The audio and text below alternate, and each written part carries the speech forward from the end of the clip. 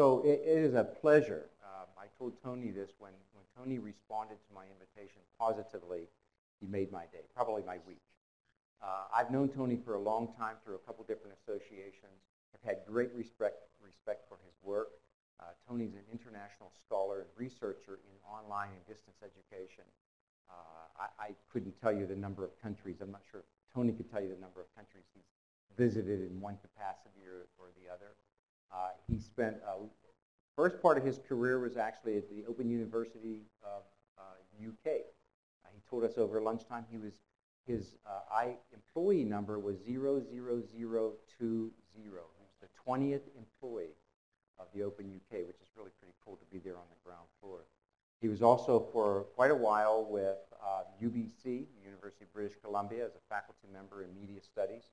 Uh, Tony's looked at this intersection of technology and education for all of his career, has written on that intersection, and today will be sharing with us his lens of, uh, of this continuation of how technology is transforming and influencing higher education. So it's a pleasure to introduce Tony Bates. Thank you very much.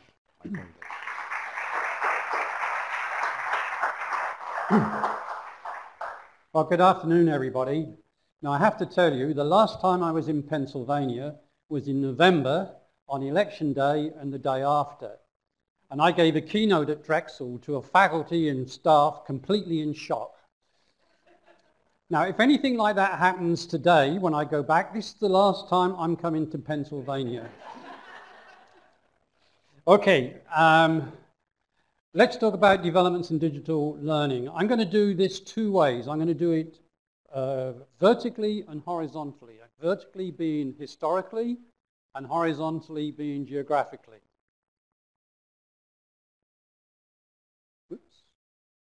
So what I'm going to do is talk first of all about how we got to where we are today. And I'm going to do that for a very good reason. Um, digital learning did not appear out of nowhere. It's got a long history leading up to it and we often forget the history, and as a result, we forget the lessons from that history. So we tend to reinvent history with every time a new development comes along in technology. I want to say something fairly briefly about digital learning today. A lot of people in the audience were probably as much, or if not more, ahead of this than I am. But then I want to talk on the international scale, and particularly about educational technology transfer in developing countries because I would say that in 90% of cases it's failed. And I want to look at the 10% of cases where it succeeded and the reasons for that. Because we hear arguments now that MOOCs are going to change the developing world. Students won't need teachers anymore. Uh, they can get it all from Harvard and MIT and so on. And it's a whole lot of nonsense about that. And I want to go through the reasons for that. And I want to end up lessons learned not just from developing countries, but for us today in how we're going to deal with digital learning. So how did we get there? Okay, well, we started with Moses. and the tablets of stone, the first educational technology, right? What a great way to get the idea of Ten Commandments over. God gave me these stones with the commandments on them. So, yes, Moses knew how to use technology. St. Paul's epistles to the Corinthians is a form of distance education, of course. And Socrates was running tutorials, sitting under the linden tree with a group of students around him, 400 BC. The lecture you see, uh, that's from the, uh, you've probably seen that famous one of Henry IV uh, lecturing uh, from the 13th century. Um, and it has all the things of a modern lecture, like people going to sleep in the back, a guy chatting up a, a, a, woman in the corner there. Um, so, you know, that goes back a long way. But the thing that really changed university education was the printed book. And the Chinese invented printing in the 7th century. We tend to forget that. But it was the invention of the uh, printing press in the 15th century that changed things. And there's a good reason for that because it allowed knowledge to be recorded um, and uh, what's the word I want, uh, challenged and uh, gone over and transmitted and expanded to large numbers. That was the whole point of printing. Um, In 1858, the University of London offered a fully distant degree by correspondence, mainly for people living in the British Commonwealth uh, who could never get to Britain. And what it was basically was a reading list. And they then did a supervised exam in their own country. And if they passed, they got a degree from the University of London. Didn't have a very high completion rate, incidentally, about 1%. But Radio farm forums, when radio came along, uh, in Canada, a lot of farms were isolated um, and they ran these very successful radio farm forums based on three principles. Listen, discuss, act, which is great kind of adult education uh, mantra. Um, television came along, Chicago TV College. Some of you may remember the New York University Sunrise Semesters, the first form of MOOC. Um, uh, the best professors uh, lecture 6 o'clock in the morning if you wanted to get up and watch it, and Street, of course. And as a result, we got uh, schools television projects, um, mainly through USAID or through uh, UNESCO in Ivory Coast, uh, Mexico, Radio uh, Primaria and uh, Television Secundaria, in Brazil, ETV Maranhão, and in American Samoa. And these were evaluated very carefully by a team from Stanford, Emil McAnany and others. Um, and these largely were unsuccessful. And I'll come back to the reasons for that later. And in the US, we moved on to satellite. There was the Appalachian Educational Satellite Project for training teachers in, Tennessee and uh, neighboring uh, states. And in India, satellite, uh, they, they ran a satellite program for rural areas uh, early as 1975. In 1983, they built their own satellite and launched it, and that program is still running. now we look at the development of digital technologies. Um, well, first of all, Skinner's teaching machine, and can, can we have the video for that? This is an amazing YouTube video. Arithmetic or algebra or grammar or in fact anything involving the use of words or symbols. Each student is using a teaching machine, a device which creates vastly improved conditions for effective study. What are teaching machines? How are they used?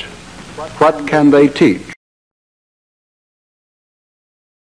Okay, then Plato came along. How many people know about Plato?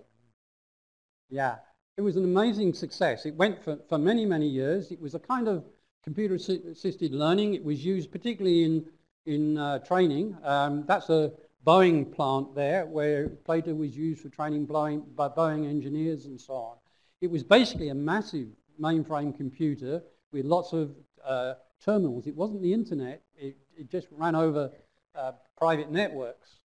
Then the internet and microcomputers came in in 1980. World Wide Web in 1990. It's 27 years. Now that may seem a long time to all you young people here, but for me that's just a blink of an eyelid. That it only 27 years ago we had the World Wide Web. The first fully online university was launched in 1995, and I'm going to let you think about which which university that was and where it was, because I think you're going to be surprised when I tell you later on. And learning management systems came in 1995. I was working at UBC at the time, and we had a very bright young faculty member called Murray Goldberg who decided to put a web-based um, learning management system up, basically, and became WebCT, which was then sold to Blackboard eventually. Um, but it started at UBC.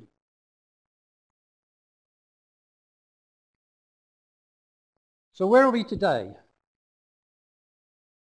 Well, what are the main technologies being used? You're probably all fami familiar with this bit. Learning management systems, still very prevalent. We're just doing a survey at the moment.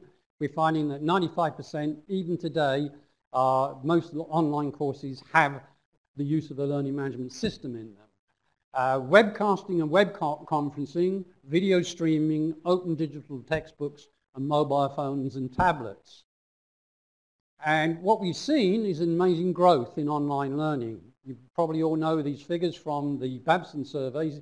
Um, but basically online enrollment, enrollments have been growing five times faster than on-campus enrollments. Um, that's beginning to ease off, slow down slightly, but it's still increasing. It's not that it's not increasing, it's just not increasing at such a fast rate. Although I suspect at some point, and I suspect we're almost at there now, as uh, flexible learning um, on campus becomes more prevalent, we'll probably see a little easing off of the fully online programs. But, but the thing I want to point out about, these are full credit courses, which started back before fall 2002. We were offering four credit courses in 1997 uh, at UBC, but um, there weren't many then. But what I want to point out, in Canada at any rate, I'm not sure about the US, I think it's more variable, we're getting very high completion rates from our credit-based online courses. They're about 5 to 10% below the classroom courses. And you'd expect that because many of these students are working, uh, trying to fit their studies on top of, they're not full-time students. But the big thing that's happening now, certainly in Canada, is blended and hybrid learning. And I, I, I have def definitions. For me, blended learning is you still have your regular lectures, but you add online learning on top. You're adding more work for the students usually. But is where you reduce but don't eliminate your face-to-face -face teaching in order to give students more time to study online. And this has been a big move in Canada, certainly. And my estimate is that if we go on at the current rate, at least half of all classes everywhere in North America will be hybrid in some form. Um, the design at the moment tends to be one of the most prominent designs is flipped. In other words, you record the lecture, the students watches the lecture at home, and they come into class. There are all kinds of problems with that that I won't go into, like the students don't watch the lecture before they come into class. But, but what, that's the, obviously what people do is they take technology and they do what they did before but using the technology. Then they begin to use the technology and realize they need to do things a bit differently and they can get better results if they and that's beginning to, to happen now. Uh, I have a nice project where I go around and interview faculty using technology for teaching called Pockets of Innovation. And I see a, a lot of redesign happening as a result.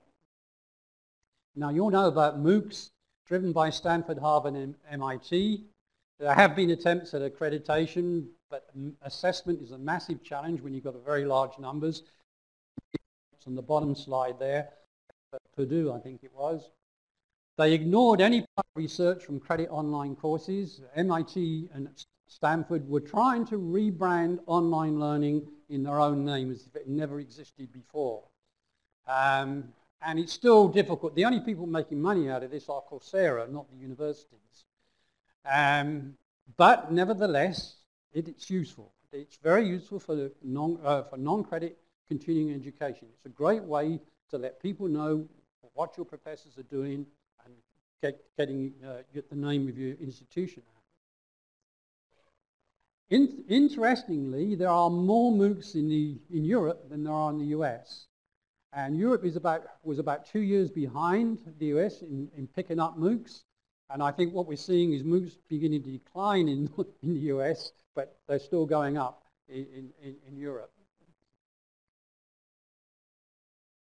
The other big development for me is open publishing. Um, free online open textbooks. In my province, British Columbia, the government has put money into providing all first and second year university and college courses. To, they will have an open textbook which is free to students. These textbooks are selected and uh, reviewed by faculty so to make sure that they're, they're quality standards and they, we have 21 out of 23, 21 out of 25 higher education institutions now using open textbooks. Um, we've saved stu students $2 million so far. We're a small province, 3 million people, and we saved $2 million so far um, through the Open Textbook Project, and big savings are still down the road because we've still got new, new, new, new books coming through which haven't been adopted yet but will be soon. I've done a book called Teaching in a Digital Age, which I did as an open, uh, free textbook. Uh, it's been downloaded 50,000 times so far and voluntarily translated into 10 different languages. Um, that's one of the great things about when you publish something as open, somebody else can take it and they can adapt it and use it however they like. I don't, I don't, um, what's the word? I don't supervise the quality of the translations. If I look at a Portuguese translation, I wouldn't know whether it's good or bad. The issue is if somebody doesn't like that translation, somebody else can do a translation and so on. Um, in fact, I think it's open education that is really going to change everything in universities. We've got open textbooks. We're getting increasingly open research now. In other words, if you get a federal grant, either in the US or in Canada, you have to publish in an open journal. Um, now, there's all kind of games being played by the publishers around this, but nevertheless, what it means is that all publicly funded research is now openly accessible to students. Um, open education resources, um, which materials created and freely available, not just textbooks, but uh, modules of assessment, so on. And the important implication of this is that all content soon will be free, abundant, and online. Now, the thing about universities is they've, they've had a monopoly on advanced knowledge.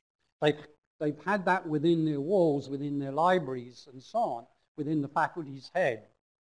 Now, if the students can get the knowledge outside, what is the role of the faculty member? And I'll come back to that a little bit later. But what it means to me is that teaching and learning, and, or teaching and learning support becomes much more important than content delivery. So I think this is going to be, in the long run, the real game changer. Uh, when I gave this presentation at Berkeley, I had a huge argument there with, with the faculty. And they said, it's impossible. You, you know, you, you can't give the knowledge that I have out to everybody else and so on. I said, well, MIT's doing it. Stanford, you know, Stanford is doing it. It's not going to be long before Berkeley is doing it as well. the other big development is use of multimedia in teaching.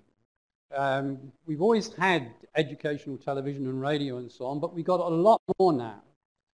And the, the importance of this is that print and talk historically have been dominant in university teaching for very good reasons. Uh, you can capture abstract thought through text.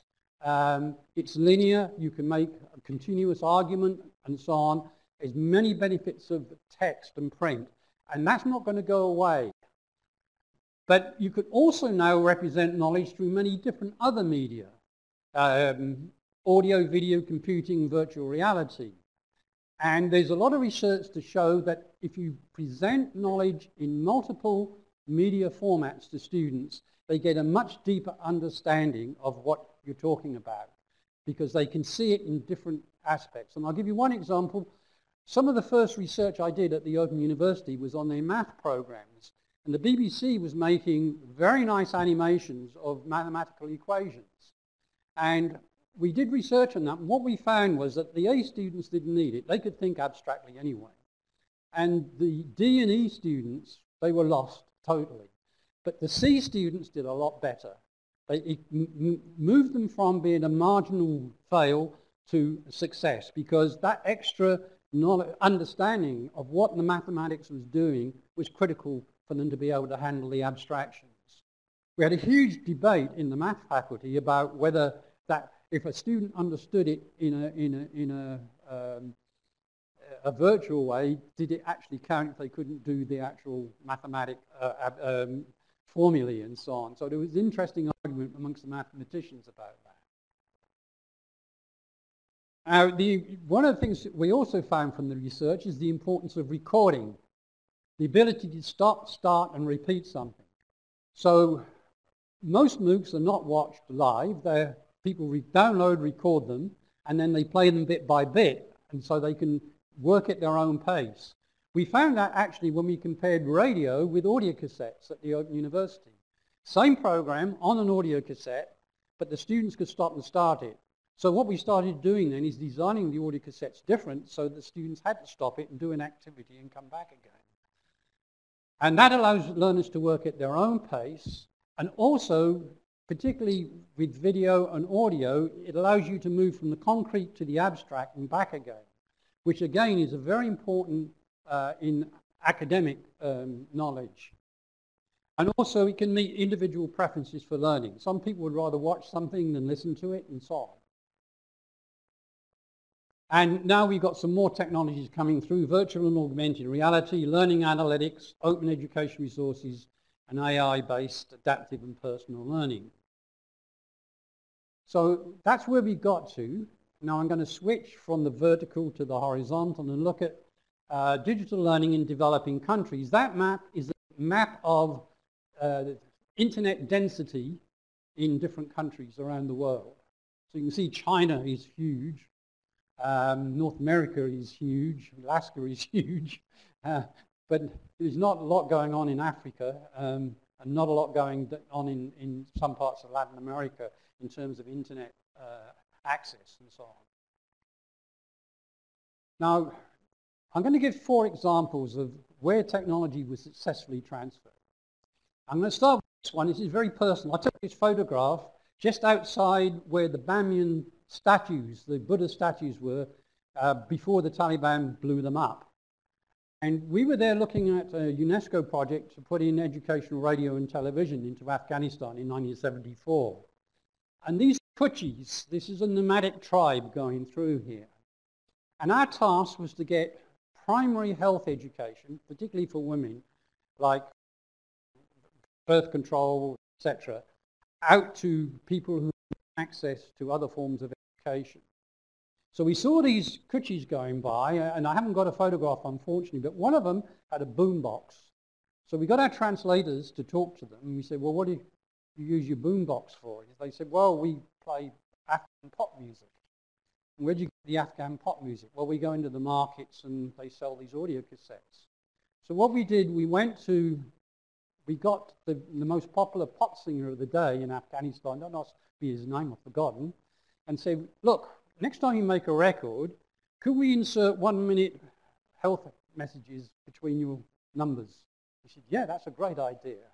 So that's what we did, and then the Kuchis ended up, we, there was a follow-up, and yes, they were listening to these health messages and so on. So, now, I give that example because it's a very low-tech solution, but it was adapted to the local circumstances, and it worked for that particular audience. A more modern one is the University of North Carolina's um, WiderNet and eGranary project. How many of you know about this one?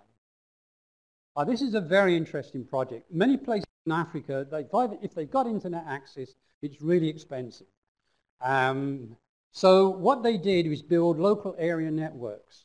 So for, for um, a modest-sized town, they would go in and put in a server, and they would look at the best way to link terminals around in the schools and the university, uh, with probably schools and colleges. There wouldn't be universities in these towns. And then what they did, they did a dump into the server from the internet in the US of all the primary content that these students would need in the schools. And so they use this local area network, which is very, very cheap. It doesn't cost them anything to log on and so on. And you see it started as one, one project, and we're talking about pilots in this morning, you know, and it, you can see where it's used around, around uh, Africa and Asia. And that's been very successful. Another project that's been very successful is not the MIT MOOCs, but MIT Blossoms. Do you know about this program? No, this is a fascinating program. This is math and science video for high schools in developing countries. But the way it works is that MIT goes to the country, gets teachers from the country to make the videos. They get them to script it. They, they, they help them with this. They bring cameramen out and, they, and so on. But they teach them locally how to make these videos. And then they bring the videos back and share them over the internet with anybody who wants to use them. And they have a big selection now. This one is um, how mosquitoes fly in the rain. Why don't, why it rains, why doesn't it crush them, you know? Um, and again, it, it professor, but there are what, lots made by, by Indian and Sri Lankans and so on. And this one is called iCow. It's a local mobile app for breeding cycles in Kenya. So when a cow gets into gestation and so on, there's all kinds of things you have to do as a farmer. So they download this app And the app actually is time related. So they put in the date of the gestation period and then it gets them, gives them prompts what to do, you know, as the cow goes through the gestation and so on. This was developed locally in Kenya by Kenyan app developers. Right? And the last one I want to talk about is Open University. Again, this has been very successful in developing countries. These have no or very low fees, open access, no prior qualification. Anybody can take a course, or just have to be willing to do it. These are often very large. I'll show you how large in a minute. They're all distanced using multiple media, usually print, still print mainly. Um, instructional design, the courses are very well designed up front. Um, they have usually strong learner support in the form of part-time tutors who help the students through their courses. And of the students enrolled, they range from 15% completing a degree to 40% depending on the institution. The Open University UK gets 40%, um, Universitas Terbuka in Indonesia gets 15%. And these are where they are around the world.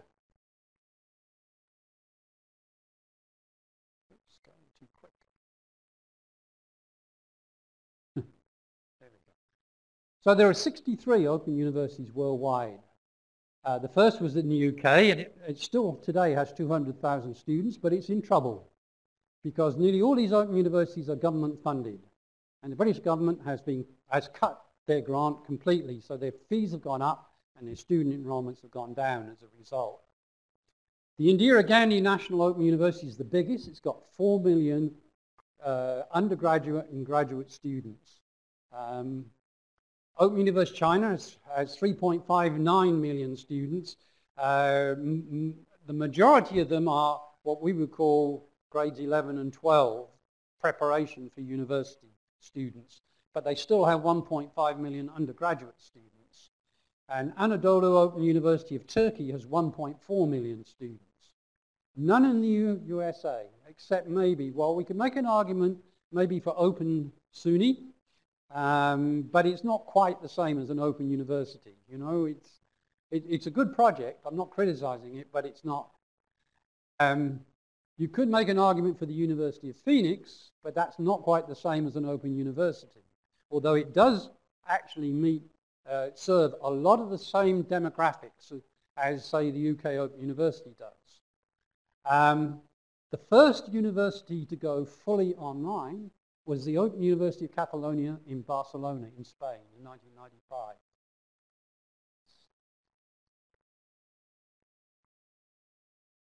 So what have we learned from these lessons in technology transfer? People say, well, everybody's got a mobile phone in Africa. Well, that might be true, but there's lots of problems. Less than 14% of uh, the population in Africa have internet access. This is last year's figures. It costs $2 to download a seven-minute YouTube video. That's a full day's salary for most people. Its main use of mobiles are text messaging and financial transactions. They don't use it much for, um, phone, for voicemail, voice phone calls because it's too expensive. And to download one week is a week's wages. One MOOC is one week's wages for a 50-minute MOOC. So there are problems in assuming that because a new technology comes along, it can be used in developing countries. So the lessons are as follows. First of all, the projects that have worked have had sustainable local funding. Not money as grants from the US or from World Bank, but the governments have found the money themselves to fund the projects. So they have to be low cost in most cases, so low cost per unit certainly. Small steps usually. They try something on a small scale, that ECO, the iCow project, you know, just started small and just expanded. You saw that with the University of North Carolina project. Uh, local adaptation and ownership.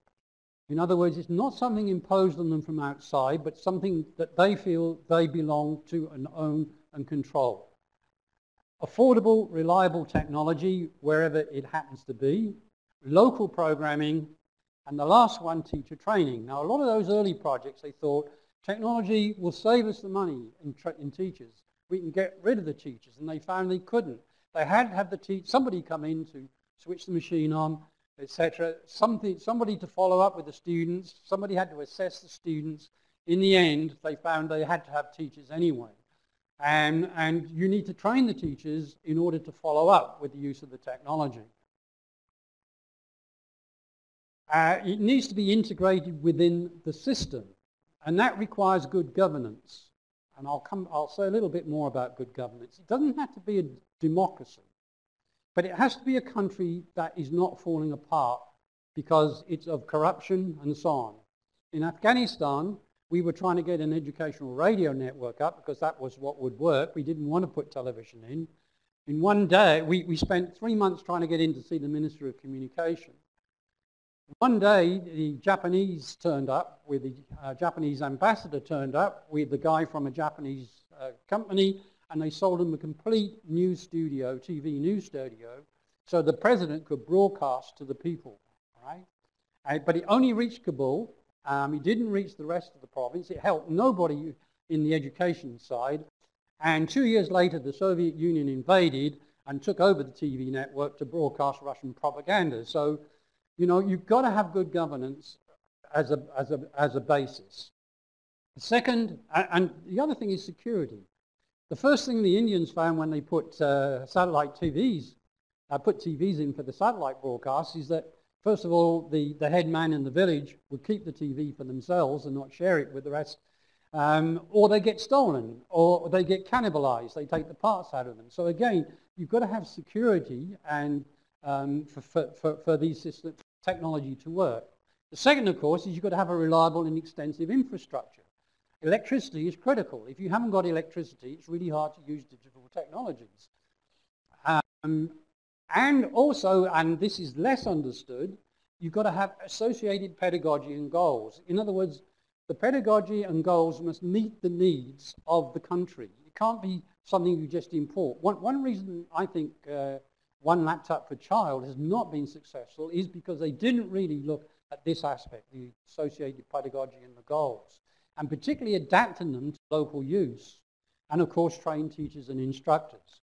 So you get a pyramid basically. If you don't get good governance, everything else fails, even if you have all the rest. Then you've got to put the infrastructure in. You've got to allow the right pedagogy and understand the cultural implications, and you have to make sure there's local ownership. You have to train the teachers, and then you can apply the technologies last. And what, what often happens with the developing country projects is that pyramid gets inverted. They start with the technology, then try to fix all the problems all the way up. So what do we know about digital learning now then? Well, the first thing we know is that a new technology is always overhyped. You probably know this Gartner hype cycle where there's a technology trigger, the media gets hold of it, you get a peak of inflated expectations, then people start using it, and you get a trough of disillusionment, and then people realize, well, it does have some useful things, you know, and you get a slope of enlightenment as we work out what the strengths and weaknesses of it, and then we get a plateau of productivity. And it's quite to do that with learning technology. This is my interpretation. Uh, we'll start learning analytics and artificial intelligence. They're getting, um, still getting boosted. Virtual reality is the big thing at the moment, or augmented reality. MOOCs have come down the slope, but they will come up again when people realize, yes, there are good things we can do with them. OER are just beginning to come up. Videos making a big recovery, actually. And learning management systems, they've been up there. And so we got online for credit courses.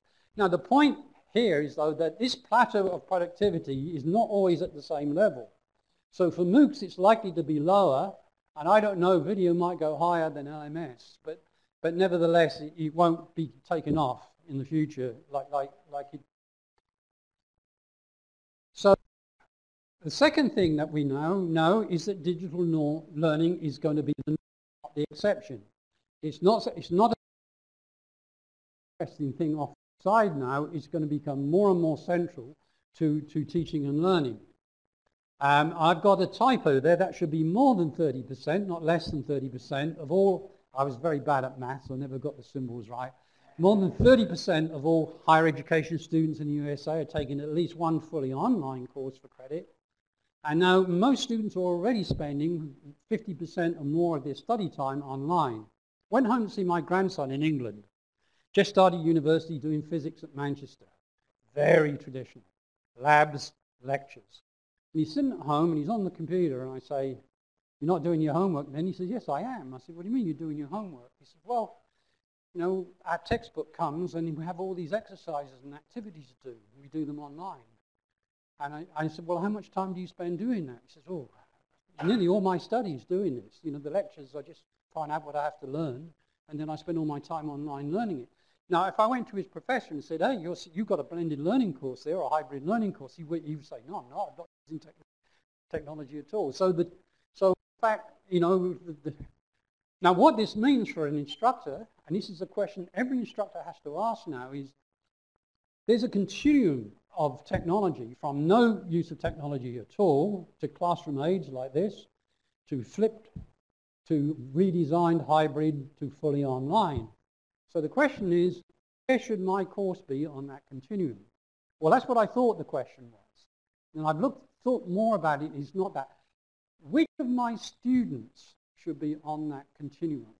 And can I design for all my students? That's a different kind of question, I think a more important question, because it's really not the faculty member that should decide whether it's appropriate or online. It's going to be the student. The student's working full-time, and they're trying to fit it in the evenings. They're going to want it fully online. If they come out of high school and they're paying lots of fees and want to meet girls and so on, they want to be on campus, right? Um, and if they're um, a full-time student but working um, in, in, a hamburger joint, then literally a flip course, right? So, so it's the students really who should be deciding which is the appropriate mode. Now, here's the question for you instructional designers in the room. Can we design courses that could be a mix of? Uh, uh, the same course, but a student could take it any way they liked. Now, I, the big thing, big problem for, for me is that I think that 90%, 95% of our faculty and our instructors in universities and colleges are totally unprepared for a digital learning world. Um, I won't go into all the reasons, that's another lecture. But the two fundamental questions that everyone of them has to ask now is, what is best done face-to-face -face and what is best done online, since we can do both? And how do we make that decision? And how many of the instructional designers in this room could honestly put up their hand and say, we've got the research evidence to answer that question? I don't think we do have that. We don't have the theory or the research to answer that question effectively. And when and how to use technology for teaching. When should I use video? When should I ask students to read something? Uh, when should I stand in front of them and talk to them? What are our decision models or what are the faculty's decision models for, for, for giving a good answer that would be effective education.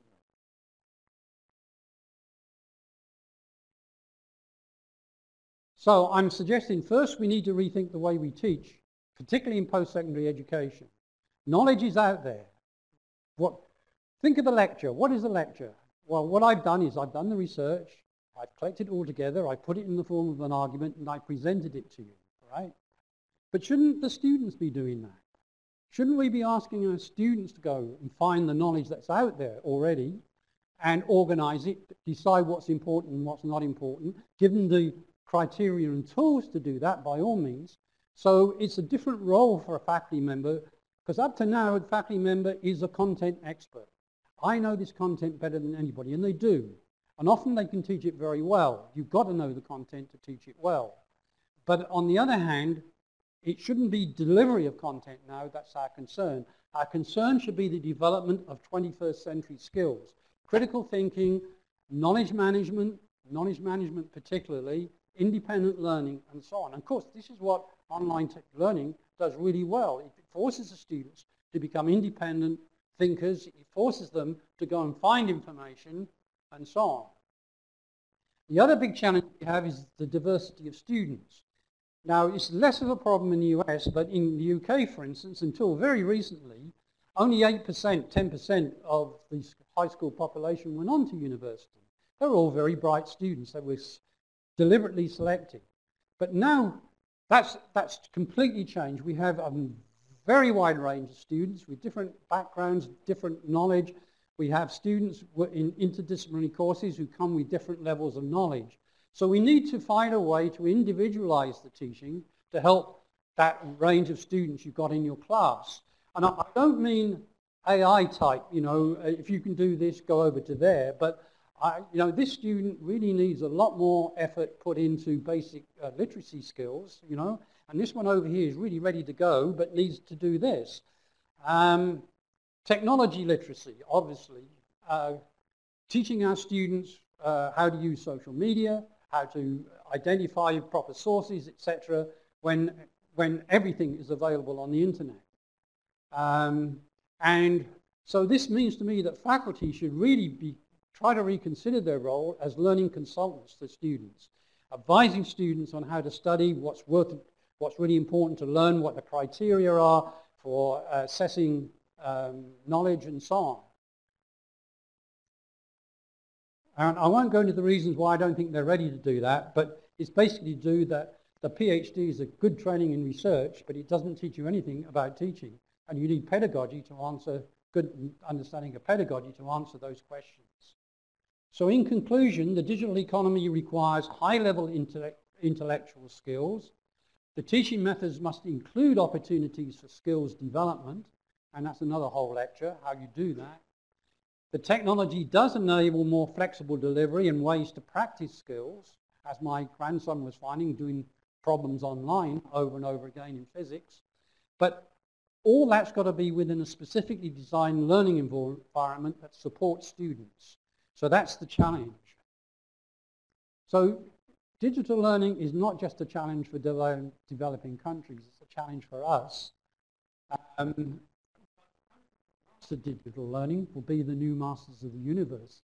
And I don't make that statement lightly because if you can produce 21st century thinkers, um, this is where the high wages are, this is where the growth development is going to be, this is where the jobs are going to be.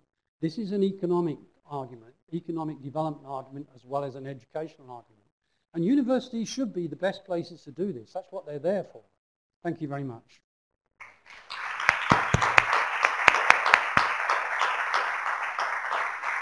Thank you, Tony, uh, for that uh, stimulating uh, thought. I've got a couple questions, and I'm going to uh, go to our community here and ask as well for questions from the from the group. Remember, as we did back in the room, when you have a question, let me know. We'll get a microphone to you so we can get it because we have guests online as well. Patty's got mics. So my, my question, I've, I've got two, but I want to start off with this one. Have you seen through your, um, in the U.S., a lot of what drives the online learning initiative is the desire for a new economic engine. Right? We, we see potentially new enrollments, new revenue, and so forth. Are those drivers the same when you're looking at developing countries? Or if not, what are their drivers? What is causing them to, to go after the digital market? In the past, it's been access. I mean, very low proportion of students go on to higher education in Africa. Uh, it's very expensive if they do, so it's the elite um, that go on to university and so on. So it's been access mainly. It's the only way they can get access to education. Um, I, I think that I didn't talk about universities' international education, about delivering your programs internationally, mainly because I wanted to focus on you know, the, you know what we've learned that works and what doesn't. And so it's very difficult to take, no, no matter, even if you design it for a uh, so it can be used internationally, an online course developed in the US and then convince somebody in Tanzania that this is relevant to them because all the examples will be from the US, etc., etc. So you really got to do a major redesign effort if you're going internationally. And a lot of universities don't want international online courses because they're worried it will take away the students who pay the big fees to come on campus. But it's a different audience. It's much lower cost for the students to take an online course. The students who come on campus will come on campus anyway because their, their fathers and mothers want them to come to the US and make all the connections and so on and can afford not the fees but the high cost of living in the US. Now, so you're going to get a different demographic if you deliver online programs, but it's got to be designed for that demographic. It can't just be take off the shelf online courses and make them available internationally. if, if I can, before I go to the group, this uh, stimulated a, a second question I had, which was you, you referenced the idea about pedagogy, and the pedagogy um, in one environment, in one culture, may be different. Are you aware of research that tells us the kind of techniques or methodologies that work in one place? And have you seen that as well? Um, Not, not so much, I w- I wouldn't say there are national pedagogies. I mean, many of the pedagogies are in fact imposed on them by colonialism. So it's the same pedagogies we had in the 1930s in the US and Britain and so on, is still being, you'll find that still operating in developing countries. So a lot of emphasis on rote learning, et cetera, et cetera. Um, we have a problem in Canada, or not a problem, a real challenge in Canada with First Nations because their way of learning is very different from the dominant society. And we're beginning to learn from them about different ways of expressing knowledge and, and so on. So even within one's country, there are different ways of knowing and ways of learning. And I think what we tended to be is very arrogant and taken a kind of Western model of uh, 19th, 18th century Enlightenment model, which is very good because it's rational, it's led to all the developments that have happened, but still there are other forms of pedagogy that might be worth exploring in particular contexts. So I'm very interested in how you design online learning for Aboriginal, Aboriginal communities. So can you bring in Aboriginal design, which is fantastic on the West Coast, I mean, amazing art and so on. Can, can, can we bring that into the design of our online courses? And can we build interactions online that suit an Aboriginal way of knowing and so on, without losing what they want is, you know, they want the qualifications, be able to work in a um, dominant society and so on, but respect their culture at the same time. So I don't think it's just an international problem. I think it's an internal problem as well. And, and um, in so many other situations as well, when, when we dominate one culture, whatever it might be, we can lose those nuances of the, yeah. uh, of, and I, I, love the idea of capturing those and embedding those back into, because we'll all gain from that, yeah. that process. Thank you. Any questions from the, from the group? Audiences, Jack, I'm going to try to get over to you there or hand you them. I'll tell you what, if you repeat, if you say it, I'll repeat it for the online audience. Could you repeat that? Do you want me to try? Yeah, would you repeat it for the, Sure. for the So the question uh, that Jack asked us is, is what are the technologies that we can use to drive students to higher order thinking, creativity, innovation, and how do we capture those and build those into our, our pedagogical models? Yeah, I'm not so sure it's the technology that limits you. It's the pedagogy that limits you. Um, and, you know, some pedagogies transfer better to some technologies than others, you know, but generally, for instance, uh, when I started writing my book, I did, I, I, my original intention was to talk about uh, design for online learning and design for classroom teaching. And then I realized you, you could, you know, and I took pedagogy as, as the dominant thing, and I found the pedagogies work both in class and online. You can have discussion groups online, you can have them in class. You can have um, um, you, can do an, have an apprenticeship model which works uh, both in class and online, but you have to design it differently online for it to work. And I think you can do that with creative thinking and so on. It's the pedagogy rather than the technology. Now, within that, there are technologies that might be better for certain kinds of creative thinking than others. So I, I just had an experiment with virtual reality recently. It's uh, called Google Blocks. And what it does, it gives you um, a set of three-dimensional blocks, and then it gives you two paddles, and you can actually go in and stretch or color the, blocks. You can move them around.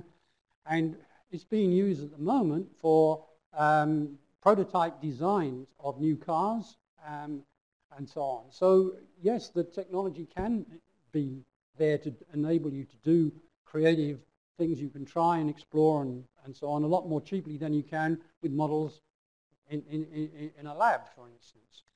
But again, it's the pedagogy. What, how do you want somebody to learn design? And is there technology around that will enable you? The thing that technology normally does is to scale. In other words, what you can do on your own, technology often allows you to scale up for a lot more when you're not actually there yourself. So that's, that's what I would look for technology to do. Can it scale the way I want to teach? can it, uh, again, like my grandson, give him more practice, lots more practice to developing a skill of problem solving in math, for instance, or physics.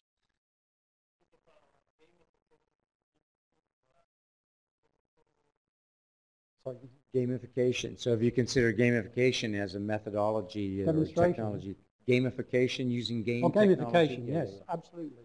Yes. The problem with gamification is the cost. It costs a lot of money to develop a game. And a lot of the things that we want to use in education are just, we don't have the size of market to make it worthwhile putting in the investment to do it well. Now we can do games cheaply, but then the students say, you know, look at these graphics, they're terrible. You know, when you come from world of, you know, whatever it is. Um, so, so you've got to do it well. Now, University of Central Florida is doing a lot of research because they're based in Orlando and they've got Disney Animation Center there, the National Animation Center. So they're doing a lot of experimentation with games. Again, you have to wait for the cost to come down. What, what's happening now, you can get building blocks for games. In other words, you can get lots of scenery. You know, you don't have to design all the scenery yourself. You just download the software and it's almost free, it's cheap. But then you still have to build the game within that scenery. And that's like doing a movie. You have to have a script, uh, you have to have a storyline, and etc. Uh, you have to have alternative outcomes. So you still got to build all that in. And, and that's expensive. Now, if you could scale that up, if you wanted to use a game, for instance, for teaching basic uh, chemical reactions, for instance, and how to, how to do that, then it might be worthwhile doing if it would sell to every university you know, in, in, in the States. But you've got to have scale with, with, with, with those kinds of things. When I've been going around looking at innovation in Canadian universities, it's very low tech. Use of mobile phones, uh, e-portfolios, um, using the learning, management system, do, using talking circles from First Nations in, uh, in a learning management system and so on. Because of the cost, you just cannot afford to have high cost original development. Um, and so you're looking at technologies that are easy to, for students and faculty to use. Good, Thank you. Other questions? So this continues to come up as a question in, in strategic planning at my university is, uh, you know, you talked about the future of um, online learning being open resources and free content, and I was curious as to kind of your insights on the net neutrality debate and how that com- kind of brings that Sorry, into on the question. what debate? The net neutrality debate. Net neutrality. Yeah. Oh, yeah. okay. Um, well, I'm a net neutral person. You know, I, I, I don't think that the big companies should be able to determine, you know, what should be paid for at different rates. Um, uh, so, I mean, it's a, it's a complicated question, and I have a very simple answer. You know, it shouldn't be deregulated. It should be regulated. That it's, it's neutral. Everybody should pay the same price for the whatever. You know, you, you pay for fast download speeds if it's a lot, and you pay for slow download speeds if it's a little. I don't have a problem with that. But charging people to use uh, Netflix more than using you know, MOOCs, for instance, doesn't make any sense to me whatsoever. I don't know if that answers your question. I think my question is if, if things swing the direct, the opposite direction, how do we as online learning providers deal with that potential threat? Yeah, I don't know. Um, move to Canada. That's been suggested in the last several months. Let's, let's not go there.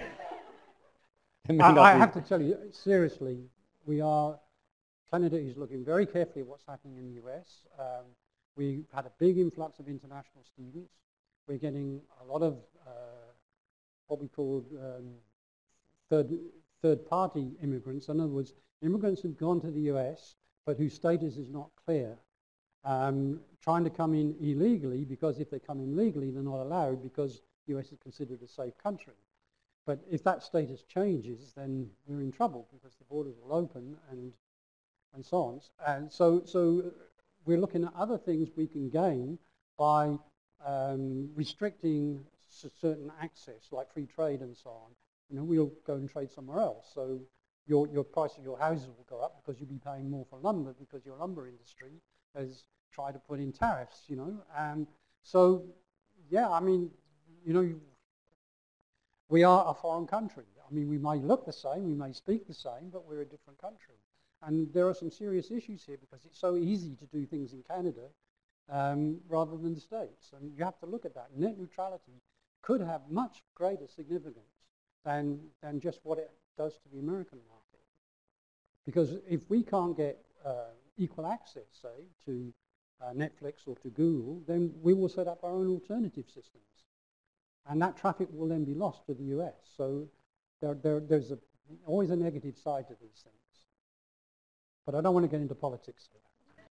Good question. Um, we, there, there is a lot of development of online learning. It depends what you call a developing country, because that goes a very, very wide spectrum. I was talking about least developed countries in my talk.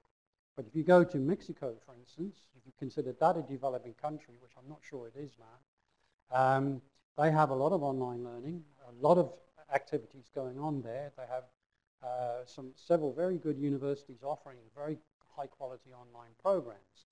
But they are taken mainly by the top 30% of income group in, in, in Mexico, mainly because the bottom 30% don't have internet access.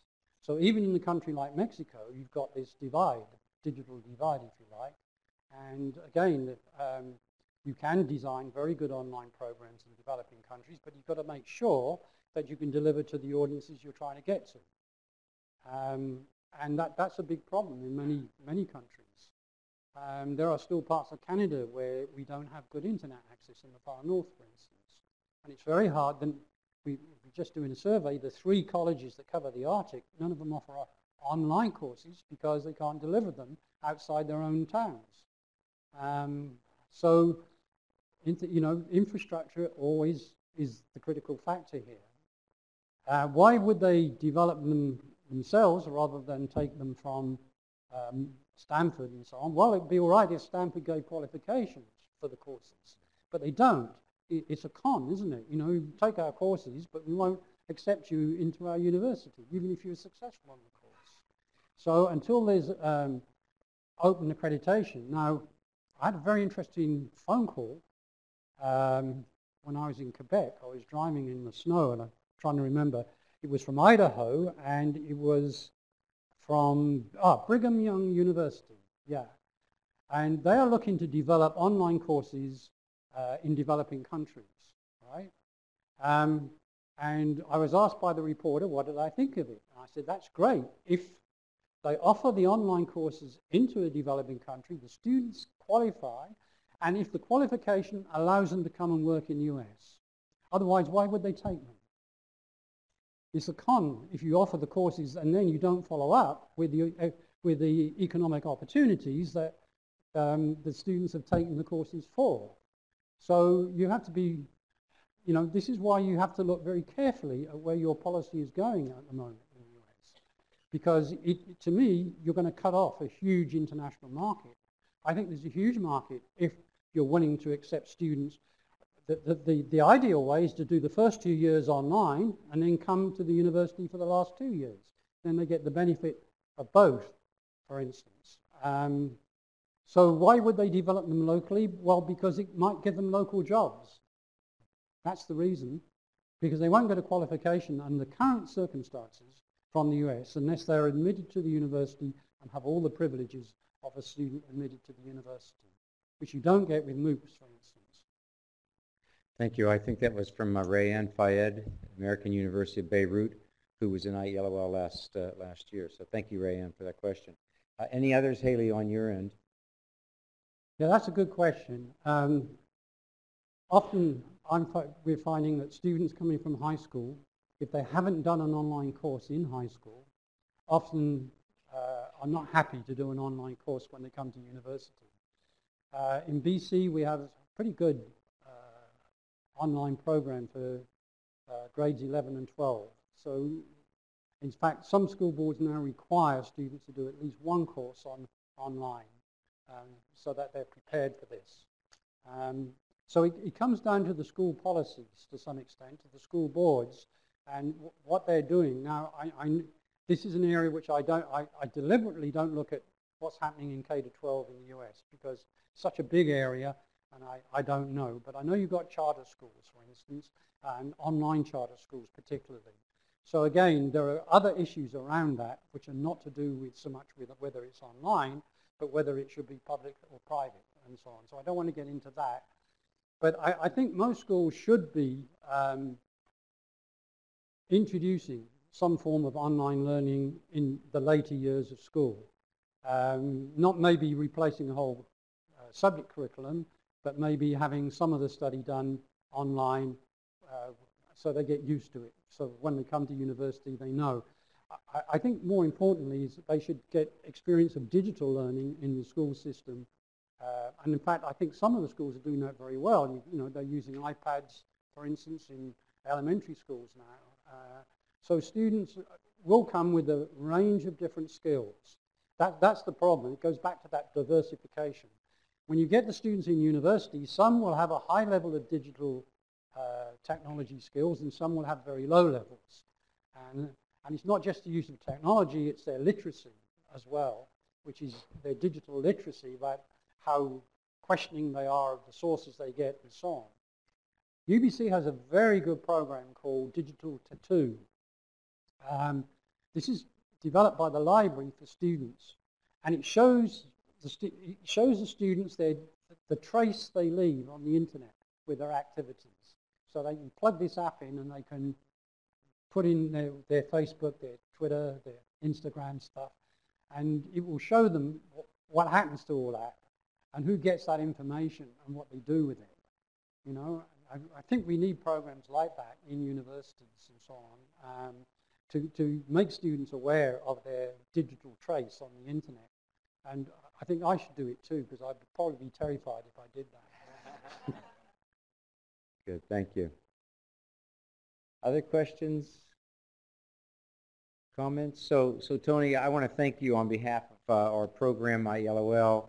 Thank you for sharing with us. We look forward to tomorrow for you and Adnan to join us. Adnan, uh, uh, we'll introduce it more formally tomorrow. Uh, thank you to our uh, online guests as well for joining us this afternoon, and um, thank you for launching our first EdTech network, Fischer Talk. Thank you, Tony.